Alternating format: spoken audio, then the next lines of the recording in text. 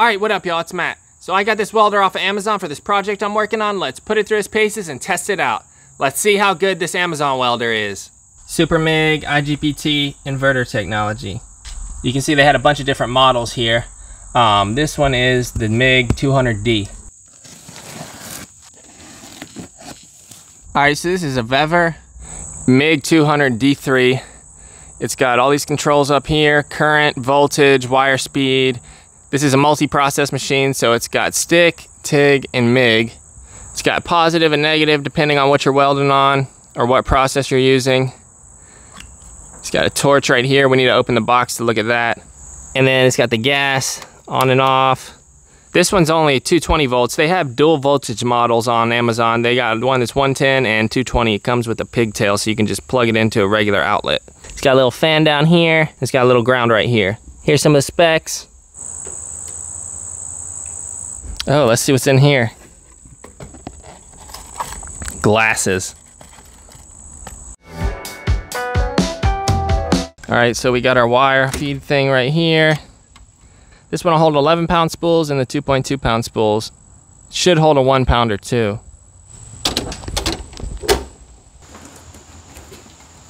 Oh yeah. We got our TIG torch here. We got a little wire brush here with a little hammer on the end of it our gas lines. Then we have our stick welding leads. And then what I'm really looking forward to is the MIG torch right here. I want to test this out big time.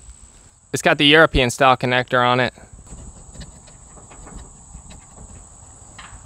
So the TIG torch looks pretty good. Um, we can't test in this video because I don't have any gas, but it looks like it's just as high quality as the rest of the machine. So it's got this collet design and it takes a 564 tungsten. I got this flux core spool on here we're gonna test first. It's got this spring and this nut to keep it tight. Current, voltage. You got this little switch right here to get the wire to start moving.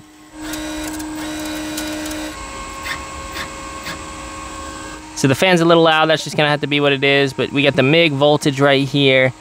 Starts at 15 and goes up to 23. And then we get the wire feed speed here. Apparently that reads the current.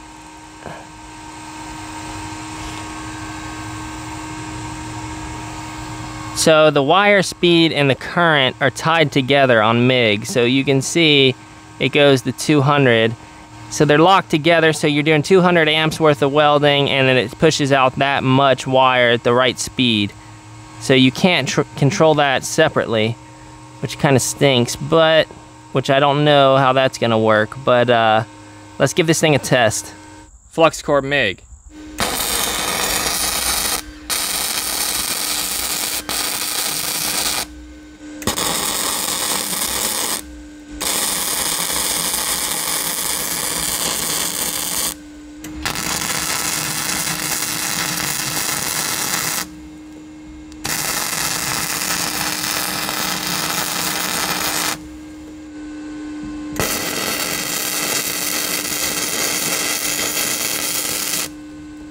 So it's not too bad on this dirty trailer metal. You can see I got a little bit of porosity right here, but it's gonna take some fine tuning, obviously.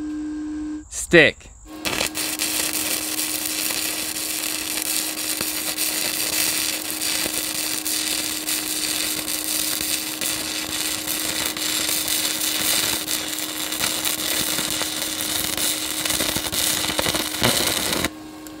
So you can see it's doing pretty good. I'm not that great a stick welder um, but it's getting pretty good penetration. It does seem like it wants a lot more current when you put it on stick mode.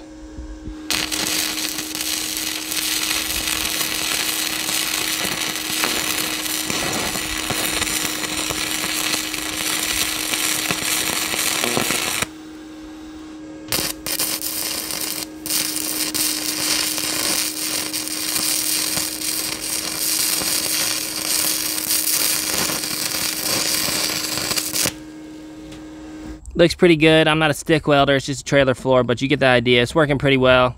These are 7018 ACs.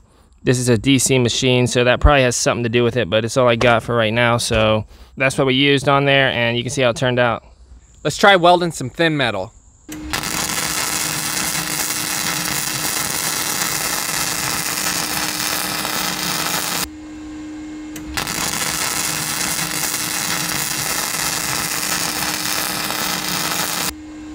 Not too bad for flux core.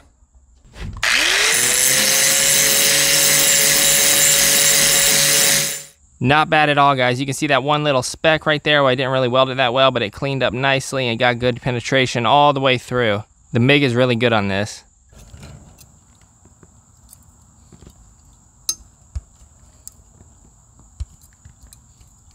Nice solid weld. The metal broke before the weld did.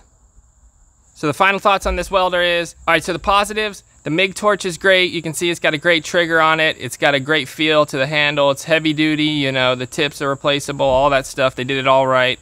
It's got good voltage control, good wire speed control, and current control. This model's a 200 amp model. It's got plenty of power. That's not a problem at all. It's got that good cooling fan in there to keep it nice and cool. The negatives, the things I would like to see done differently. The ground clamp needs to be upgraded, get a heavier duty one of those. You can see the stick lead needs to be upgraded. Um, you can get a better one of those.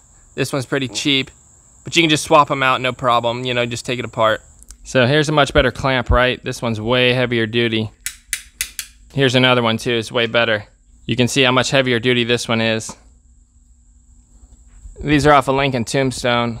My number one pet peeve with this is the current control and the wiring speed you can see you can't change them independently of each other, so they're stuck locked together, which I don't like because it doesn't give you that much flexibility.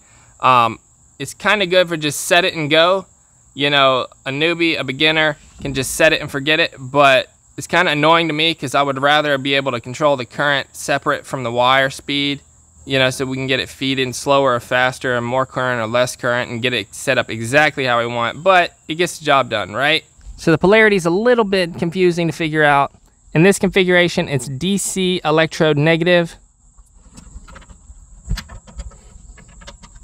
Like this is electrode positive. And then with stick, it's just, this is disconnected and then it just reads, you just read it down here. So, you know, this lead is positive and this lead is negative. It's a little bit confusing, but once you figure it out, you're good. So in this configuration right here, it'd be electrode positive and then vice versa. Parts availability. So the tips are all standard sizes, right? You can just unscrew them and screw them in um, on the MIG torch with, you know, your standard sizes. The tungsten seems like it's a smaller size than normal. Not that big a deal, you know, for light duty stuff. And then getting parts for the rest of the machine, I don't know, it hasn't broken yet, so it seems like it'll last a very long time. And your warranty and stuff, there's that to consider too. So I need to get some gas so that we can test the TIG function and the MIG function. You know, this was just flux core and stick welding in this video. It did great at those. But, uh, you know, you can only get the weld so pretty with flux core MIG. So uh, we'll test that out in future videos. Other than that, this thing's great. Definitely worth the money. If y'all want to get one of these, check out the links in the description. I'll put links down there where you can find them on Amazon. I'll check y'all out on the next one. Later.